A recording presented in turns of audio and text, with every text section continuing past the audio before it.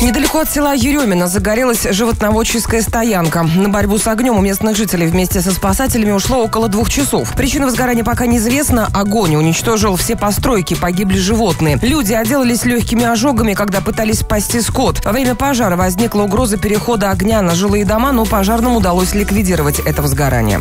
Более 480 миллионов рублей власти региона направят на ремонт 17 улиц Читы, которые вошли в план социального развития Центров экономического роста роста. Деньги перечислены из федерального бюджета. Местное софинансирование составит всего 5 миллионов рублей. Все ремонтные работы обещают завершить уже осенью. Всего за 2019 год планируют восстановить 35 улиц краевой столицы. Часть из них входит в проект «Безопасные и качественные дороги».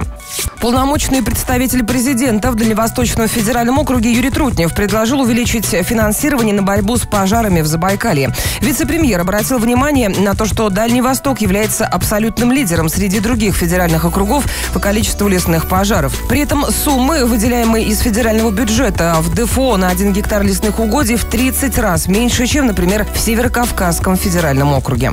Министерство территориального развития региона и госавтоинспекция предупреждают читинцев гостей краевой столицы о частичном ограничении движения автотранспорта на читинских дорогах 8 мая.